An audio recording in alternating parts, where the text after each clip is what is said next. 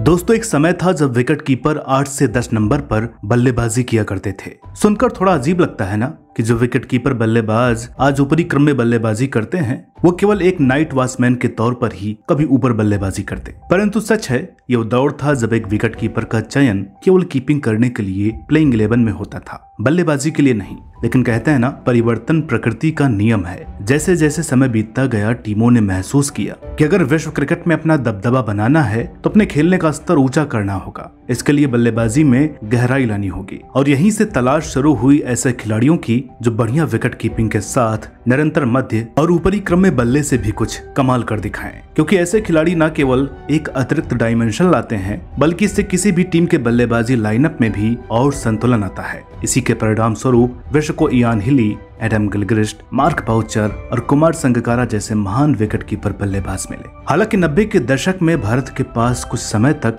नैन मोंगिया और किरण मोरे जैसे खिलाड़ी रहे। परंतु बल्ले से अधिक योगदान न दे पाने के कारण कई वर्षों तक ये भारत की सबसे कमज़ोर कड़ी रही और कोई उपयुक्त विकल्प न मिल पाने के कारण राहुल द्रविड़ को टीम मैनेजमेंट ने विकेट कीपिंग की कमान सौंपी और उन्होंने भी इस ज़िम्मेदारी को बखूबी निभाया। इसकी बदौलत टीम में एक अतिरिक्त बल्लेबाज को भी खिलाया जाने लगा, क्योंकि अब द्रविड़ ऊपरी क्रम के बल्लेबाज थे जो कभी कभी सलामी बल्लेबाजी भी क्या करते थे। उनका वर्कलोड संभालने के लिए एक अच्छे विकेट कीपर की खोज अभी भी जारी थी। और इसी दौरान कई एक्सपेरिमेंट भी हुए। और आखिरकार 2005 में कड़ी मशक्कत के बाद भारत को विश्व का सबसे बेहतरीन विकेट कीपर बल्लेबाज महेंद्र सिंह धोनी के रूप में मिला। धोनी मौका मिलते ही कसौटी पर खड़े उतरे और साथ ही उन्होंने कई रिकॉर्ड बनाते हुए विकेट कीपर बल्लेबाजों के लिए कई नए पैमाने स्थापित किए। हालाँकि शुरू में उनकी तकनीकी उतनी बढ़िया नहीं थी और क्योंकि उनकी बल्लेबाजी गजब की थी तो उनका स्थान टीम में पक्का हो गया। लेकिन जैसा कि आप जानते हैं कि एक सिक्के के दो पहलू होते हैं। अब क्योंकि धोनी ने विकेट कीपिंग बल्लेबाजी का स्तर काफ़ी ऊँचा उठा दिया था, जिससे टीम में मानो एक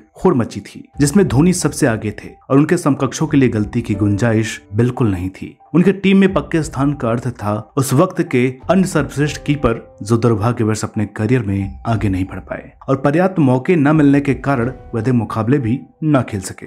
दोस्तों, आज नारा टीवी की इस खास पेशकश में हम आपसे बात करने वाले हैं उन विकेट कीपर बल्लेबाजों की जिनका करियर धोनी युग में होने के कारण बुलंदियों को न छू सका और वे मात्र उनकी परछाई बनकर रह गए। हमारे इस लिस्ट में पाँचवें नंबर पर हैं रिद्धिमान साहा। रिद्धिमान साहा उन बदनसीब खिलाड़ियों में से एक हैं जिनकी बल्लेबाजी तो अच्छी थी ही साथ ही उनकी विकेट कीपिंग टैलेंट को विराट कोहली समेत कई दिग्गजों ने सराहा और दुनिया में सर्वश्रेष्ठ कीपर बताया, लेकिन बावजूद इसके, उनका करियर दो युग के बीच में आकर पिस गया। फिर चाहे वो धोनी युग में मौकों की राह देखना हो या ऋषभ पंत के दौर में बेंच पर बैठना, यूँ तो साहा एक विकेट कीपर बल्लेबाज हैं, लेकिन उन्होंने 2000 टेस्ट में अपना पदार्पण एक स्पेशल बल्लेबाज के रूप में किया। उन्हें अपने करियर का अधिकतर समय मैदान पर ड्रिंक्स ले जाते देखा गया। उन्हें मौके तब मिले जब 2014 में धोनी ने टेस्ट से संन्यास लिया और 2017 में ऑस्ट्रेलिया के खिलाफ उनका कैच आज भी विश्व के टॉप विकेट कीपर कैच में से एक है। इसी साल वो एशिया और उसके बाहर शतक लगाने वाले पहले भारतीय विकेट कीपर बल्लेबाज बने। लेकिन 2018 में वो कई चोटों से जूझ रहे थे। और जब उनकी सर्जरी हुई तो ऋषभ पंत ने कसौटी पर खड़े उतरते हुए अपनी ताबड़तोड़ बल्लेबाजी से टीम में अपना स्थान पक्का कर लिया। तो उन्हें सिर्फ़ तभी मौके मिले जब टीम की पहली पसंद को आराम दिया गया। और हाल ही में चयनकर्ताओं ने स्पष्ट कर दिया कि आगे श्रीकर भरत जैसे युवा कीपर को तवज्जो दी जाएगी, पर उन्हें चयन के लिए मौके नहीं मिलेंगे, और साथ ही उन्हें संन्यास के सुझाव भी मिलने लगे। साहा ने अपने करियर में 40 टेस्ट, नौ एक दिवसीय मुकाबलों में क्रमशः तेरह हज़ार तिरपन और इकतालीस रन बनाए हैं। दूसरे नंबर पर हैं नमन ओझा। नमन ओझा उन दुर्लभ खिलाड़ियों में से एक हैं जो विकेट कीपिंग और बल्लेबाजी से बराबर योगदान देने में सक्षम थे। उनकी आकर्षक स्ट्रोक प्ले से भरी बल्लेबाजी और फुर्तीली कीपिंग एक घातक मिश्रण था, परंतु अफसोस कि उन्हें वो मंच नहीं मिला जहाँ दुनिया उनकी प्रतिभा को देख पाती। उन्हें देखकर आज भी ऐसा लगता है, मानो आज भी उनमें काफ़ी क्रिकेट बचा है। और ये कहना बिल्कुल भी गलत नहीं होगा कि वे सूची के सबसे बदकिस्मत खिलाड़ी हैं, जिनमें हर खूबी होने के बावजूद वो अंजाम न मिला, जिसके वो हकदार थे। उनका पूरा करियर घरेलू क्रिकेट में ही खत्म हो गया। उन्हें अपना टी ट्वेंटी पदार्पण करने का मौका 2010 में मिला, जब धोनी को आराम दिया गया। वही 2015 में उन्होंने अपना पहला और आखिरी टेस्ट खेला। उस टेस्ट में उन्होंने छप्पन रन बनाए और उन्हें सिर्फ़ एक टेस्ट, एक दिवसीय और दो टी मुकाबले खेलने का मौका मिला। तीसरे नंबर पर है रॉबिन उथप्पा रॉबिन उथप्पा विश्व के उन चुनिंदा बल्लेबाजों में से एक हैं, जिनकी कमान में हर तरह के शॉट्स मौजूद थे। फिर चाहे वो सलामी बल्लेबाजी हो या मध्यक्रम पर बल्लेबाजी, उन्होंने कभी टीम को निराश नहीं किया। उन्होंने 2006 में अपने पहले ही मैच में छियासी रन बनाकर सभी को काफ़ी प्रभावित किया। और साथ ही उस वक्त किसी भी भारतीय बल्लेबाज द्वारा अपने पदार्पण में सर्वाधिक रन बनाने का रिकॉर्ड भी बनाया। इसके अलावा 2007 टी ट्वेंटी विश्व कप में भारतीय टीम को विजेता बनने में भी उनका अहम योगदान रहा। बल्लेबाजी के अलावा उनकी फिटनेस और विकेट कीपिंग भी लाजवाब थी, लेकिन भारतीय टीम में उन्हें कभी एक विकेट कीपर के तौर पर देखा ही नहीं गया। वैसे तो उन्होंने लगातार घरेलू क्रिकेट और आईपीएल में रन बनाकर कई बार टीम में अपनी दावेदारी पेश की, लेकिन चयनकर्ताओं ने उनके चयन में रुचि नहीं दिखाई। और इस नायाब हीरे का करियर केवल कुछ अंतर्राष्ट्रीय मुकाबलों में ही सिमट कर रह गया। हालाँकि रॉबी ने एक इंटरव्यू में बताया था कि उनमें भारत के लिए सफ़ेद जर्सी में खेलना उनकी प्राथमिकता थी। इसलिए उन्होंने 25 वर्ष की आयु में लंबी पारियाँ खेलने के अनुकूल अपनी तकनीकी में भी काफ़ी बदलाव किया और उनकी बल्लेबाजी की आक्रामकता कहीं खोसी गई। जिसे वो अपने करियर की सबसे बड़ी भूल भी मानते हैं। लेकिन इसके बावजूद उन्हें आज तक एक भी टेस्ट खेलने का मौका नहीं मिला और 2015 के बाद वो नीली जर्सी में भी कभी दिखाई नहीं दिए। रॉबिन ने अपने करियर में छियालीस एक दिवसीय और तेरह टी ट्वेंटी अंतर्राष्ट्रीय मुकाबलों में क्रमशः नौ और दो सौ उनचास रन बनाए। इसके अलावा रॉबिन ने अपने प्रथम श्रेणी करियर में एक सौ उनतालीस मुकाबलों में नौ हज़ार तीन सौ छत्तीस रन बनाए। हमारी इस लिस्ट में दूसरे नंबर पर हैं पार्थिव पटेल। पार्थिव पटेल विश्व के सबसे चुलबुले और फुर्तीले विकेट कीपरों में से एक हैं। 2002 में मात्र 17 वर्ष की आयु में इंग्लैंड के खिलाफ टेस्ट में पदार्पण करने वाले ये सबसे कम उम्र के खिलाड़ी बने। उसी वर्ष अंडर 19 विश्व कप खेल कर आए पार्थिव, जब केवल नौ वर्ष के थे तो उनके हाथों की उंगली कट गई। बावजूद इसके उनका ग्लव वर्क कमाल का रहा और अपने पहले टेस्ट में क्रीज पर डटे रहकर उन्होंने भारत को हार से भी बचाया। अब क्योंकि उन्होंने इतनी कम उम्र में डेब्यू किया, वह भी बिना अधिक अनुभव के मानसिक रूप से उतने परिपक्व नहीं थे, इसलिए उन्हें इतने बड़े स्तर पर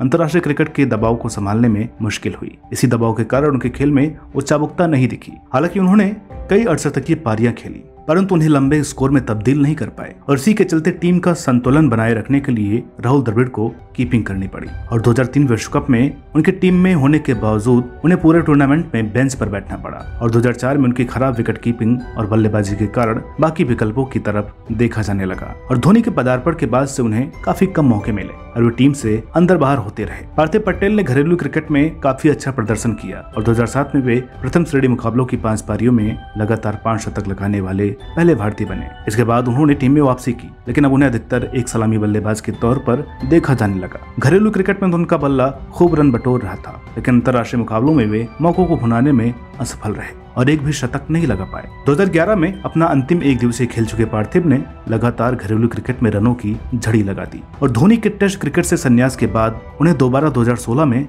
भारतीय टेस्ट टीम में खेलने का मौका मिला। उस वक्त अपनी रणजी टीम गुजरात का नेतृत्व कर रहे थे और इंग्लैंड के खिलाफ खेलते हुए उन्होंने सलामी बल्लेबाजी की और साथ ही एक भारतीय द्वारा दो टेस्ट खेलने के सबसे लंबे अंतराल के इस रिकॉर्ड को भी अपने नाम किया। इसके बाद उन्होंने 2020 में क्रिकेट के सभी प्रारूपों से संन्यास ले लिया। अपने 18 साल लंबे करियर में उन्होंने मात्र 25 टेस्ट, अड़तीस एक दिवसीय और दो टी मुकाबलों में क्रमशः नौ सौ और छत्तीस रन बनाए। वही प्रथम श्रेणी करियर में उनके आंकड़े कमाल के हैं, जहाँ उन्होंने कुल एक सौ चौरानवे मुकाबले खेले, जहाँ इन्होंने ग्यारह रन बनाए। जिसमें से 190 प्रथम श्रेणी मुकाबलों में उन्होंने बतौर कीपर 26 शतक लगाए। जो कीपर के तौर पर सर्वाधिक है। इसके अलावा पार्थिव तीन बड़े घरेलू खिताब जीतने वाले भी पहले कप्तान हैं। और हमारी सूची में सबसे पहला नाम शामिल होता है भारत के सबसे फिट और हिट मैच विनर खिलाड़ियों में शुमार दिनेश कार्तिक का। आपको ये जानकर हैरानी होगी कि तमिलनाडु के इस विकेट कीपर बल्लेबाज ने अंतर्राष्ट्रीय क्रिकेट में अपना पदार्पण 2004 में धोनी से भी पहले किया था। एक समय तो ऐसा था जब भारतीय क्रिकेट टीम में उनका स्थान लगभग तय माना जा रहा था,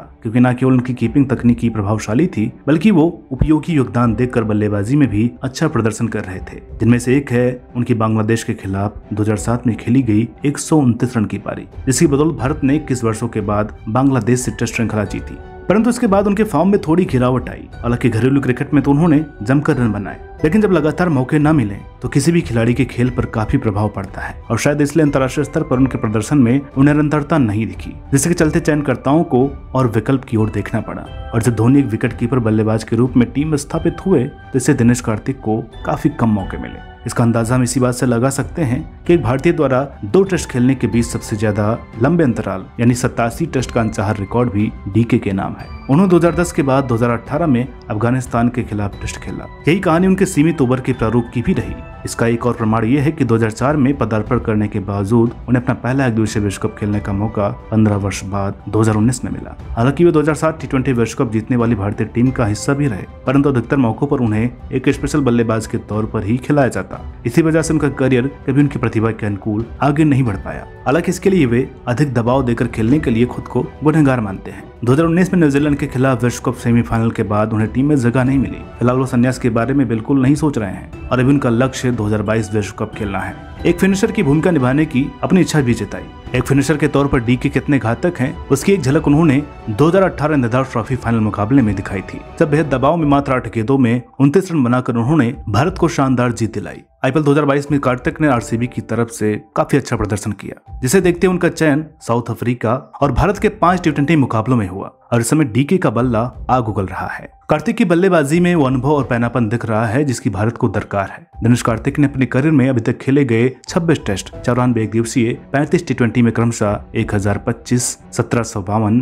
और चार सौ छत्तीस रन बनाए। वहीं एक सौ सड़सठ प्रथम श्रेणी मुकाबलों में 9,720 रन भी बना चुके हैं। फ़िलहाल वो घरेलू क्रिकेट में तमिलनाडु के कप्तान भी हैं। तो दोस्तों ये थे वो बदकिस्मत विकेट कीपर बल्लेबाज जिनका करियर केवल कुछ मुकाबलों में ही सिमट कर रह गया। और वे धोनी युग में होने के कारण मौकों को तरसते रहे। हालाँकि धोनी का इसमें कोई कसूर नहीं था परंतु इन खिलाड़ियों में भी काबिलियत थी। और क्योंकि इन्हें निखरने और खेल में सुधार करने की बजाय केवल रिप्लेसमेंट और बैकअप के तौर पर इक्के दुक्के मौके मिले। यही कारण है कि आंकड़े उनकी प्रतिभा के साथ बिल्कुल भी न्याय नहीं करते, क्योंकि खिलाड़ी उससे कई गुना बेहतर थे। तो दोस्तों, आज की वीडियो में इतना ही। उम्मीद करते हैं कि आपको ये वीडियो अच्छी लगी होगी। वीडियो के बारे में अपनी राय कमेंट के ज़रिए ज़रूर लिखें। वीडियो अच्छी लगी हो तो इसे लाइक करें और शेयर करना ना भूलें। मिलते हैं आपसे अगली वीडियो में एक और नई कहानी के साथ। तब तक के लिए नमस्कार।